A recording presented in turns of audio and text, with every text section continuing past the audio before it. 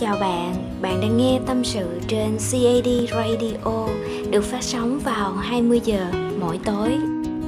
Cảm ơn bạn thật nhiều vì đã quay trở lại đây để nghe tôi tâm sự hàng ngày. Và thật sự mà nói, ngày hôm qua là một ngày mà chúng ta đã không gặp nhau trên radio.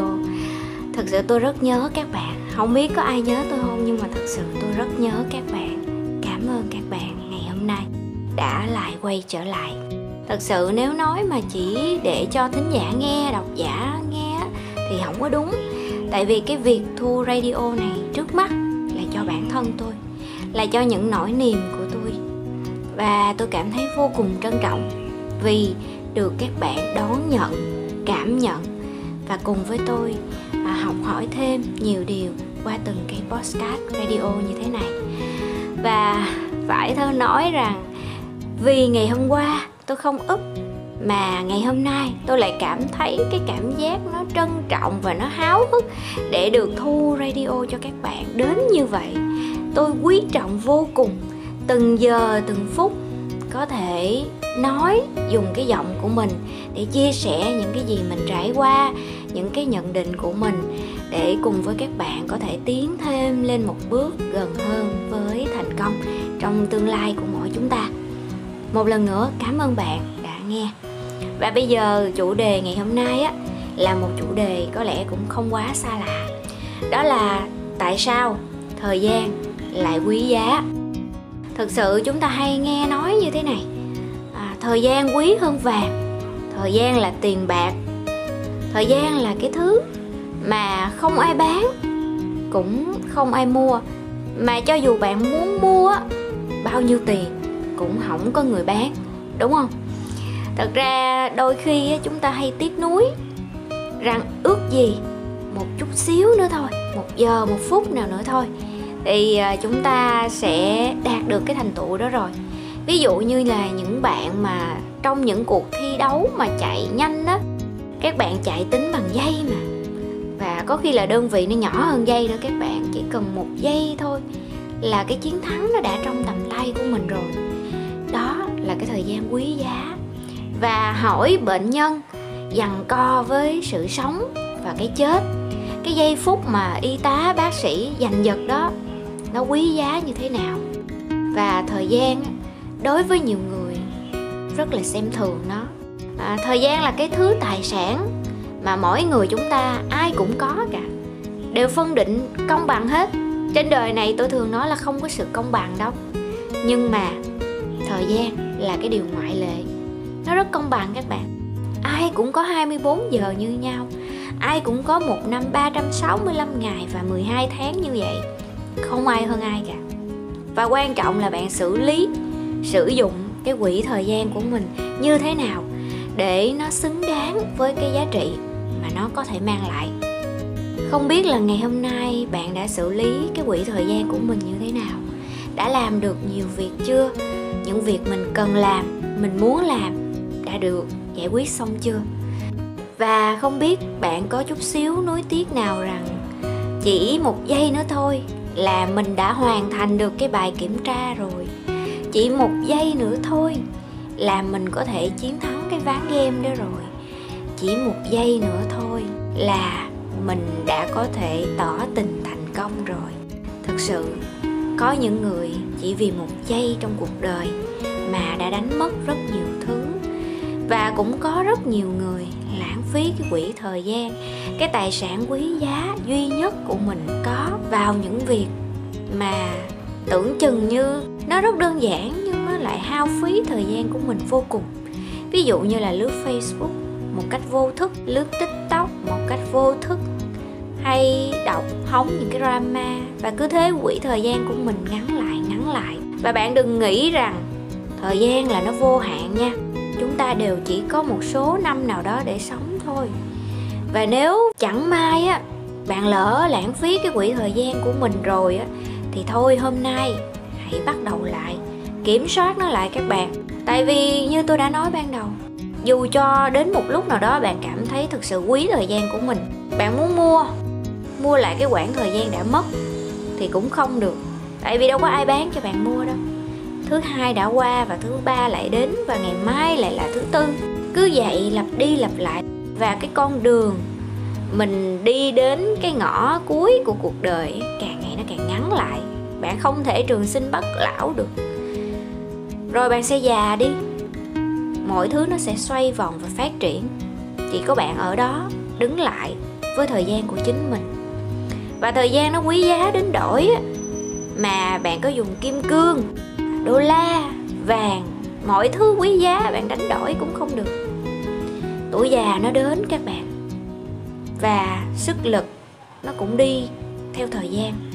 Để làm sao cho xứng đáng với cái quỹ thời gian của tuổi trẻ mình? Hãy phát triển mỗi ngày, hãy học hỏi mỗi ngày. Tôi đã từng lãng phí 3 năm thanh xuân của mình để thi lại đại học tôi đã từng lãng phí 8 năm cuộc đời với các mối tình không đến đâu cả. Và bây giờ tôi quay trở lại tôi nhìn. Đó nếu tích cực, mình sẽ xem như là những trải nghiệm của cuộc đời. Nhưng nếu tiêu cực và khách quan mà nói, mình đã lãng phí thời gian cho việc học hỏi, phát triển bản thân và cố gắng cho thành công sau này vào những cái chuyện phí thời gian vô cùng tôi đã phí thời gian vào những ngày chờ đợi tin nhắn của đối phương. Tôi đã phí thời gian vào những ngày khóc lóc khổ sở vì những cuộc chia tay trong vội vã. Tôi cũng đã phí thời gian để nuôi dưỡng những cái mối quan hệ độc hại hoặc thậm chí là à, đối phương không hề trân trọng mình. Tôi đã phí thời gian để dành cho họ. Và bây giờ muốn lấy lại cũng không được nữa. Vì thế cho nên hiện tại tôi rất quý trọng thời gian của mình tôi đi đâu tôi cũng phải đeo đồng hồ theo để tôi nhìn xem hiện tại là mấy giờ và mình hoàn thành cái việc này sớm nhất là trong bao lâu. Tôi quý từng giờ, từng phút và nếu bạn nhắn tin cho tôi mà tôi trả lời cho bạn ngay thì đó là tôi cũng đang trân quý bạn. Bởi vì thời gian của chúng ta ai cũng có hạn cả. Trong cái quỹ thời gian hạn hẹp của mình á, người ta dành cho mình một khoảng thời gian để trả lời tin nhắn, để rep bình luận thì hãy trân trọng họ và nếu bạn có bận biệu gì thì hãy vui vẻ nói rằng à bây giờ đang bận và hãy kết thúc cuộc nói chuyện để đối phương không phải trông chờ bạn và không lãng phí cái thời gian của họ. Tôi sẽ không để bản thân lãng phí thời gian thêm một lần nào nữa. Với ai và vì bất cứ lý do gì, tôi sẽ trân trọng thời gian của mình thật là nhiều nhiều nhất có thể. Và tôi sẽ dành cái thời gian ít ỏi của mình cho những người thật xứng đáng người ta hay nói rằng tiết kiệm tiền bạc, tiết kiệm công sức. Nhưng mà tôi cảm thấy cái khái niệm tiết kiệm thời gian á, ít ai nói đến, nhắc đến và thực hiện được. Hãy tiết kiệm thời gian của bạn. Tiết kiệm, tối đa. Đừng có phung phí nó nữa, đừng có phung phí nó vô những cái bộ phim dài tập nữa. Hãy dành thời gian đó để rèn luyện sức khỏe, để nâng cao tri thức, để học hỏi thêm nhiều điều và tốt nhất là dành thời gian cho cái công việc của mình để nó sớm thành công, nhanh nhất có thể. Tại vì thời gian là thước đo của thành công mà. Bạn dành 5 năm cuộc đời để theo đuổi một cuộc tình và bạn dành 5 năm cuộc đời để theo đuổi một công việc, nó sẽ khác với việc bạn dành 5 năm cuộc đời để ăn, ngủ, chơi và giải trí. Hoàn toàn khác nhau. Ai cũng chỉ có bao nhiêu đó thời gian thôi quan trọng là mình dành cho những gì và mình đạt được những gì. Tôi không phải là một người tài giỏi cũng không phải là một người thành công. Tôi chỉ là một người bình thường bình dị và sống đúng với cái chất xàm của mình. Các bạn thấy rồi đó. À, đôi khi tôi cũng bị stress như hôm qua chẳng hạn. Và những thứ nó cuốn tôi đi quá xa khiến cho tôi cảm thấy là mọi thứ nó đang nhấn chìm mình. Tại vì tôi tự đặt cho mình trong một cái guồng quay siết tôi không muốn lãng phí thời gian, nên tôi đã cố gắng sắp xếp mọi thứ nó vừa khớp với nhau. Vừa làm cái này xong là phải làm cái kia liền. Thời gian nghỉ rất là ít. Một số bạn nói rằng là sao tôi đi cà phê nhiều quá, tôi đi ra ngoài nhiều quá, dịch bệnh không sợ hay sao? Vân vân. Sợ chứ các bạn, sợ chứ. Nhưng mà công việc các bạn. Và cái quỹ thời gian của tôi rất là ít nên khi mà tôi gặp một ai đó tôi chấp nhận một cuộc hẹn có nghĩa điều đầu tiên là tôi trân trọng họ trân trọng cái mối quan hệ này. Điều thứ hai là nó phải có một lý do đặc biệt. À, hiện tại tôi không có nhiều thời gian để dành cho chuyện yêu đương nên tôi đã toàn tâm toàn ý để dành cho công việc và gia đình của mình. Thật ra nếu các bạn chú ý một chút á thì những người người ta hay than là bận rộn à, do hai điều thôi. Một á là có thể là họ bận thiệt còn hai là do họ không biết cách sắp xếp cái quỹ thời gian của mình sao cho tiết kiệm và khoa học nhất. Cái này cũng phải tập và học hỏi.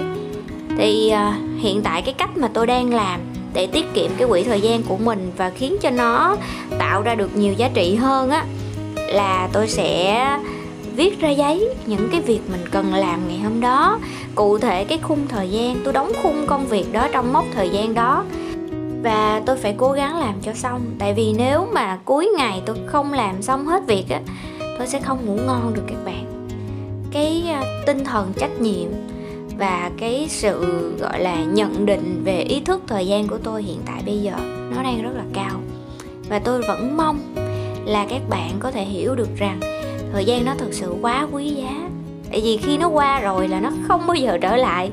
À, những sai lầm đã xảy ra thì sẽ không thể nào quay trở lại để sửa chữa. Và có những à, nuối tiếc. Mình ước gì thời gian có thể quay trở lại để mình không nói những cái lời à, gây sát thương đối với người đối diện vào cái thời gian đó. Mình cũng ước gì thời gian quay trở lại để mình cố gắng thật là nhiều à, để mình vượt qua cái kỳ thi đó một cách trọn vẹn hơn. Mình cũng cố gắng rằng thời gian quay lại để mình có thể dành à, nhiều thời gian cho gia đình của mình hơn. Đó có rất là nhiều sự hối tiếc khi mà thời gian đã qua đi. Vậy thì bạn hãy cố gắng trân trọng cái hiện tại thời gian ở hiện tại và đừng để nó qua rồi. Mình mới muốn à, sở hữu lại cái cách mà bạn tiết kiệm thời gian. Đó là bạn đừng lãng phí thời gian. Và cái cách mà để bạn đừng lãng phí thời gian đó là làm cho từng giây từng phút trong cuộc đời của mình đều trở nên có giá trị. Làm việc gì, gặp ai đều phải tạo được giá trị thì đó mới có ý nghĩa. Nếu mà hiện giờ bạn đang còn lãng phí thời gian vì những cái thú vui tiêu khiển, vì những bộ phim dài tập, thì ngay bây giờ hãy sắp xếp thời gian của bạn lại.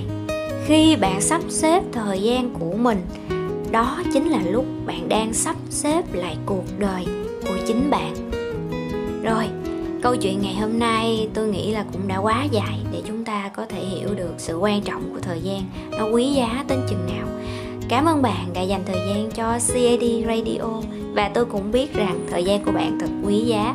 Mong là bạn sẽ nhận lại ít nhiều gì đó, một vài giá trị từ trong chiếc radio bé nhỏ này. Cảm ơn bạn thật nhiều và chúc bạn ngủ ngon. 拜拜。